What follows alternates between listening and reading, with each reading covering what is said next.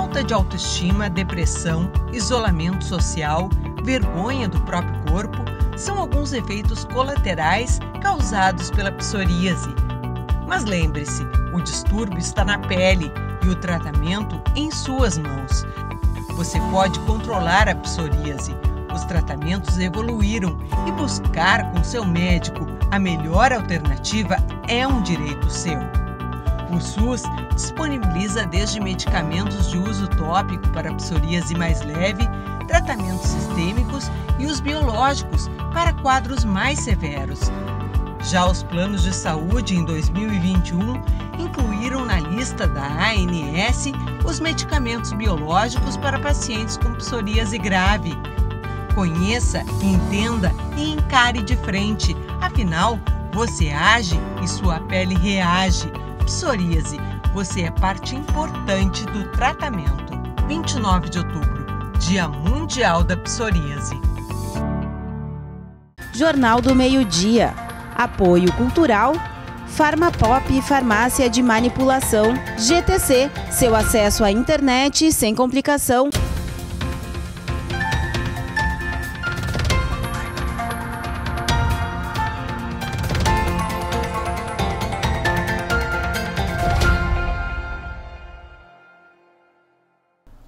Tarde. Hoje é quinta-feira, dia 28 de outubro. Estamos começando o Jornal do Meio-Dia.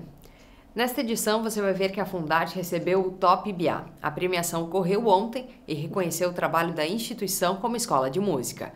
Além disso, a gente te conta da novidade que está chegando aqui na TV Cultura. Amanhã tem estreia de um novo programa. Já já a gente te conta mais. E nós começamos falando da conclusão de uma obra realizada aqui em Montenegro. Depois de três anos, a ponte de acesso ao balneário Afonso Cunhat foi inaugurada. A estrutura cedeu em 2018 e desde então os visitantes precisavam usar caminhos alternativos para chegar ao Baixio.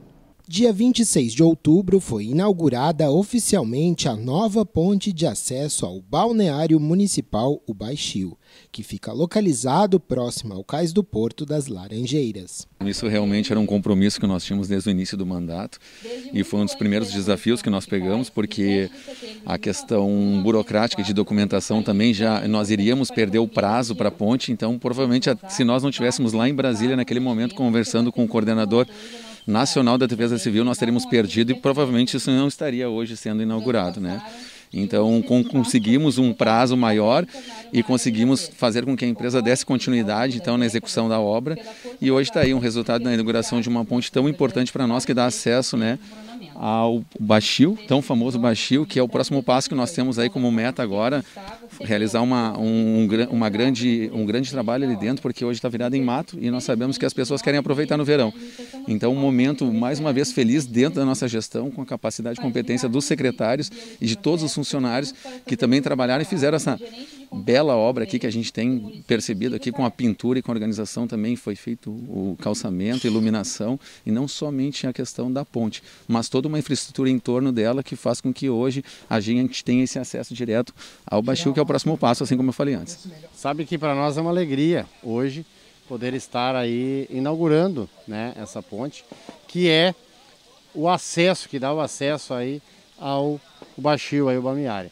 É, como tu falaste, é, é, histórico isso aqui, né, de muitas promessas e coisas desse tipo. É, começos de obras, paralisação de obras e, né, e hoje então se conclui é, esse acesso aqui né, ao, ao Baixio. Nós é, esperamos que tão logo esteja também revitalizado aí o Baixio para que as pessoas possam utilizar. Né?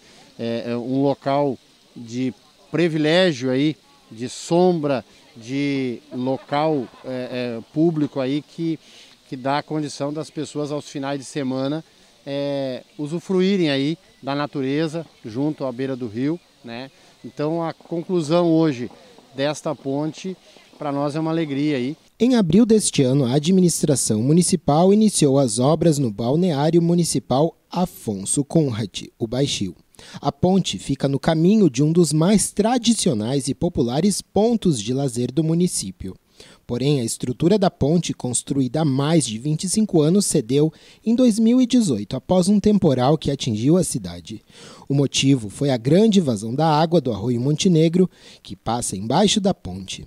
Na época, a prefeitura realizou uma análise da situação e um valor para a reconstrução da ponte foi solicitado ao governo federal pelo então Ministério da Integração. No entanto, o pedido acabou sendo indeferido.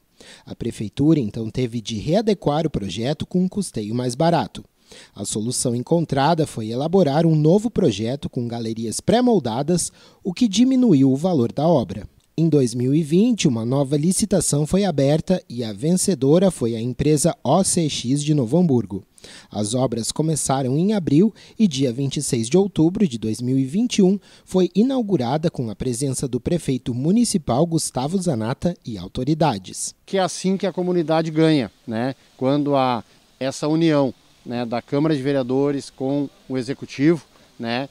É, hoje de manhã ainda nós estávamos em reunião com o Executivo aqui na Câmara de Vereadores, que todas as terças acontece, é, também discutindo outras prioridades dentro do município e, e isso é o que faz dar o crescimento aí dentro do município. Com certeza vamos colher muitos bons frutos enquanto estivermos aí nesta é, é, direção aí, nessa união aí.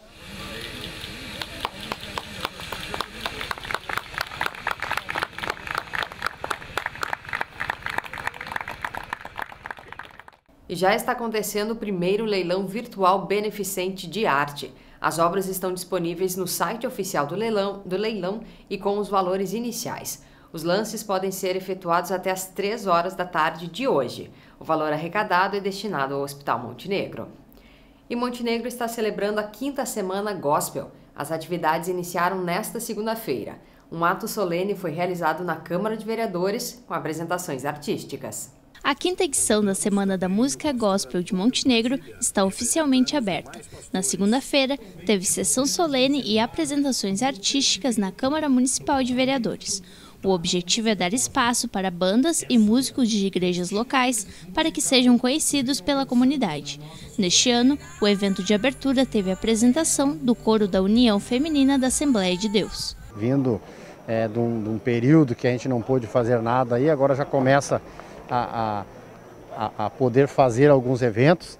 E hoje, então, nós vamos estar aí dando início na, nessa quinta semana, é, que traz um pouco né, dos talentos que nós temos dentro das igrejas, trazer para fora. Né? Estamos fazendo aqui na área externa da Câmara de Vereadores, para que as pessoas fiquem bem à vontade, sentadinho lá na sua cadeira, tomando chimarrão e assistindo o evento. Há cinco anos, Juarez foi o vereador que propôs a criação da Semana da Música Gospel em Montenegro e desde então faz parte da programação oficial de eventos do município.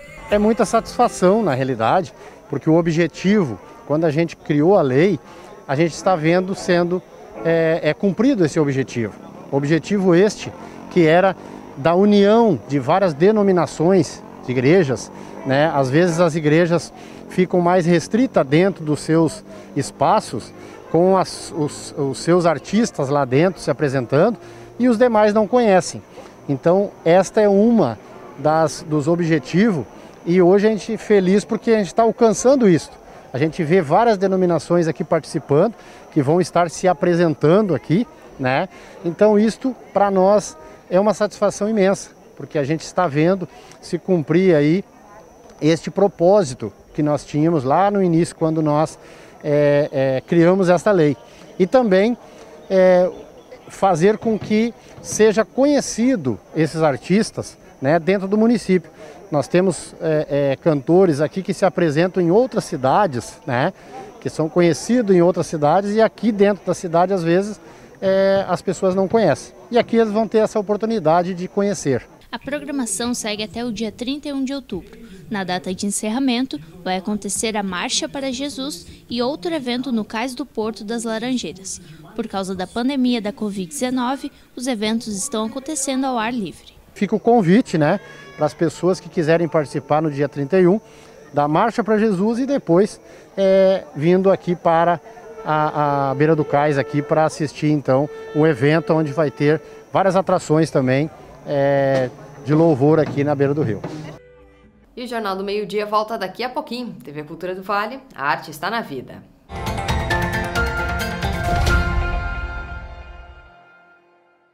No Dicas do Alquimista, a primeira temporada será sobre hortas em pequenos espaços, onde você pode plantar em apartamentos, sacadas, pequenos pátios. E nesse primeiro programa a gente vai demonstrar uma disposição de uma horta em pequenos espaços e a plantação de um pé de pimenta já com a muda desenvolvida. Espero vocês no canal 53.1 e nas redes sociais, no YouTube e no Facebook.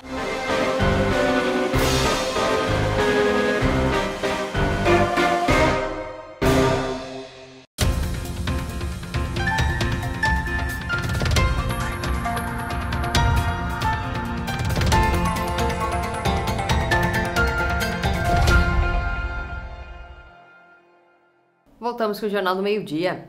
Vamos saber qual a previsão do tempo para amanhã aqui no Vale do Caí. A sexta-feira vai ser de sol e algumas nuvens. O dia vai ser de calor. Amanhã os termômetros marcam temperaturas entre 18 e 31 graus.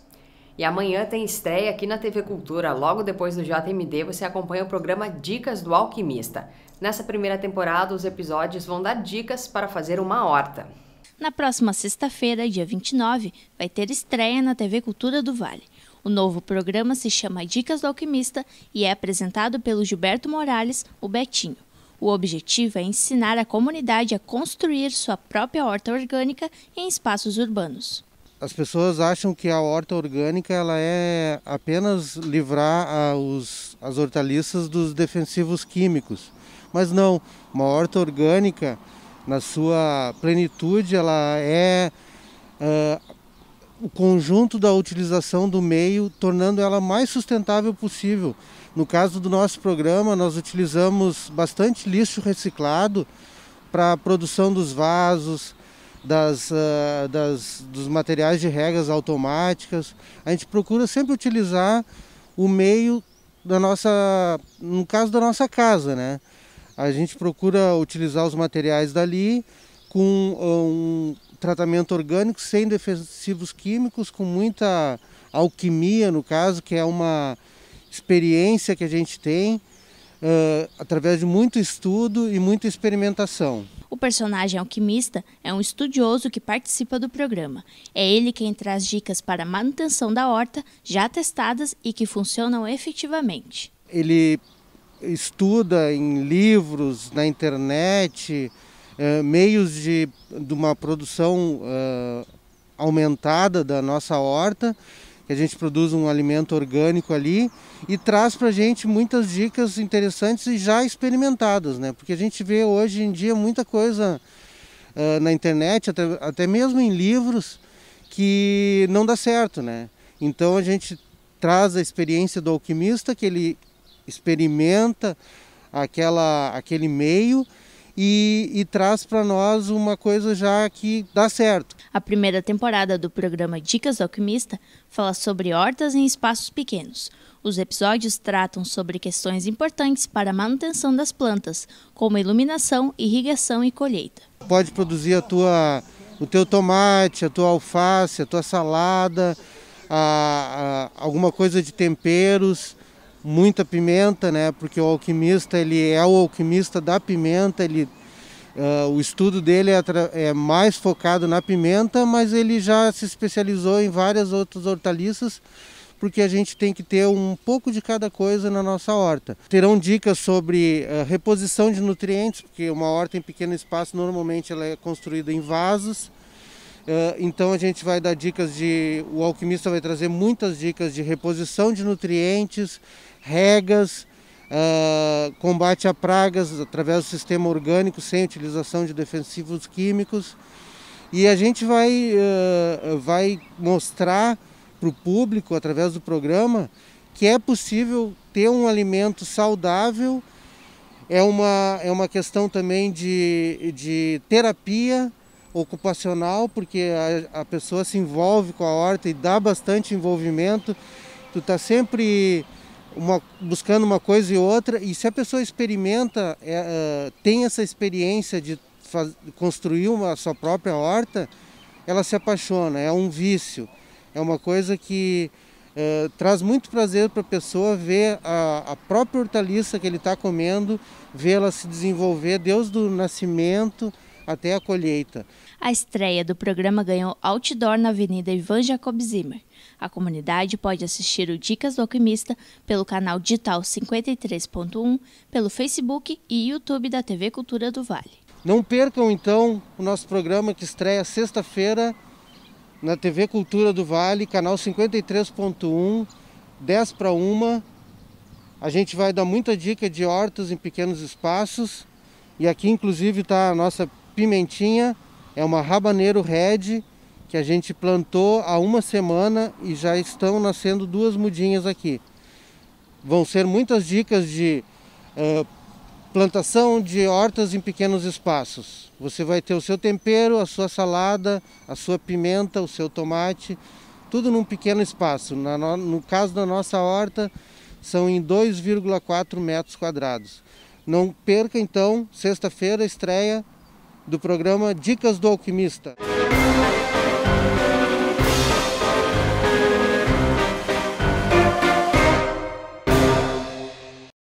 E tem estreia também de artista da UERGS no Festival Porto Alegre em Cena. A videocena da Marina Miller Rodrigues, que nós te apresentamos na semana passada, vai ser exibida no canal Pô em Cena no YouTube, às 10 para 7 da noite.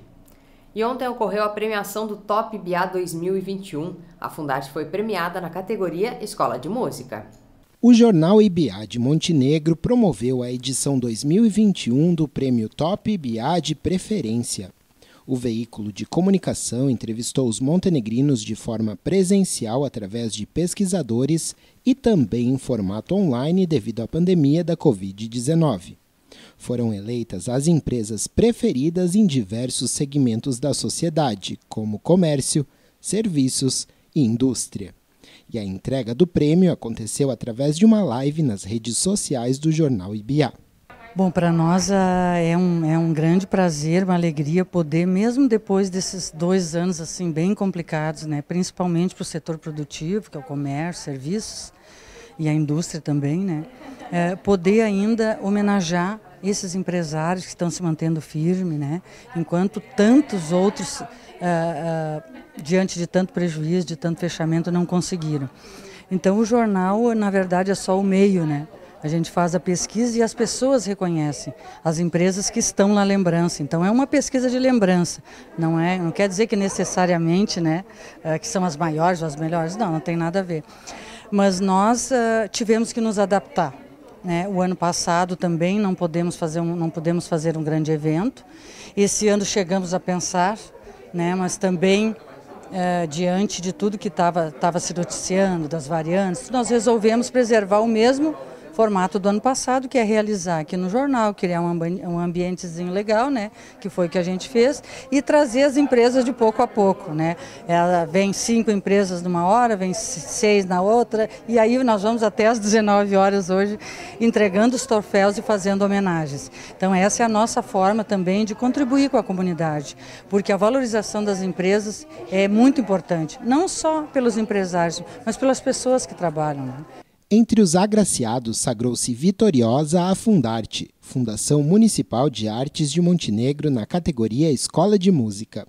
A diretora executiva da Fundarte, Júlia Umes, e o vice-diretor Rodrigo Kochenborger estiveram presentes no evento para receber o troféu Prêmio Top IBA 2021. O Jornal IBA é um, é um grande parceiro. Né?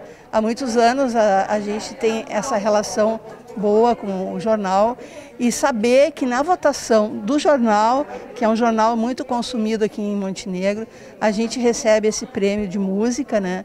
É uma honra para a Fundarte, né? E, e, como eu vinha falando, uh, eu acho que em tempos de pandemia, a música ainda por cima foi super parceira de todo mundo, né? Então só de pensar que a gente estava um pouquinho na casa de todos, né? Isso também uh, dá um certo conforto né? A pandemia prejudicou muita gente, prejudicou as escolas, também prejudicou a Fundarte, que teve uma, uma desestrutura. Né? Mas saber que aquilo que a gente faz uh, é tão importante para o ser humano, né? isso prova que a música é importante para o ser humano uh, e ter esse reconhecimento, eu acho que é uma grande conquista. E você pode rever essas reportagens e toda a nossa programação no Facebook e no YouTube. O Jornal do Meio Dia de hoje fica por aqui. A todos vocês que nos acompanham, uma boa tarde.